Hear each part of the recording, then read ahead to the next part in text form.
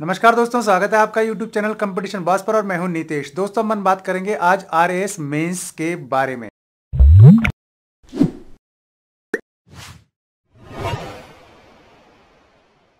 जैसा कि मैंने कहा था दोस्तों, आपको एक वीडियो में कि आर एस मेन्स की जो है डेट बढ़ सकती है और जब कमेंट में फिर आपकी तरफ़ से ये आया था, सर, कितने दिन बढ़ सकती है? तो मैंने संभावना जताई थी कि कम से कम एक महीना तो आप लोगों को और मिलना चाहिए।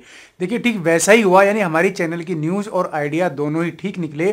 फ़िलहाल सरकार ने जो बैठक की, उसके बाद ये तय हो गया है कि अब ये एग्ज़ाम अभी नहीं होगा, यानी दिसंबर में नहीं होगा, क्योंकि दिसंबर में ये एग्ज़ाम होने जा रहा था।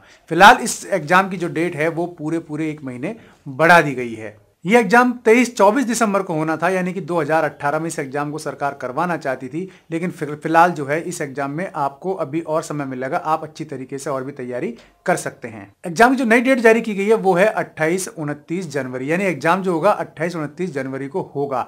अब इसमें भी एक चीज़ मैं आपको बता दूँ कि ये जो आपको टाइम मिला है यारो, इसको बहुत ही अच्छे तरीके से आपको यूज़ करना है। जो भी लोग पहले से तैयारी कर रहे हैं, उनकी कोई ना कोई कमी रह गई होगी तो वो उस तैयारी को बनाए रखें, उस कमी को दूर करें और जो नए साढ़े सात हज़ार मेरे भाई बहन जुड़े हैं अभी प्री पास करके बिल्कुल लेटेस्ट रिज़ल्ट में तो उनके लिए टाइम एक गोल्डन चांस है तो उनको ये मानिए डबल मेहनत करनी पड़ेगी, क्योंकि उनकी लड़ाई उन लोगों से है जो पहले से तैयारी कर रहे हैं। तो ऐसे में आप जरा सा भी डिगमगाए नहीं जरा सा भी घबराए नहीं, क्योंकि आपकी तैयारी पर आपको विश्वास होना चाहिए, आपके कर्म पर आपको विश्वास होना चाहिए तो आपके कर्मों का फल आपको ज़रूर मिलेगा और अच्छा मिलेगा। मेरी ऐसी शुभकामनाएँ आपके साथ है। दोस्तों, ये वीडियो आपको कैसा लगा, कमेंट में ज़रूर बताएँ। अगर चैनल पसंद आए तो यारो, सब्सक्राइब ज़रूर कर लें।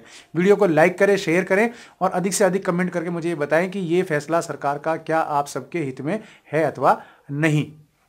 आज के लिए बस इतना ही। ऐसे ही किसी यूजफुल वीडियो में आपको फिर मिलता हूँ। तब तक के लिए नमस्कार।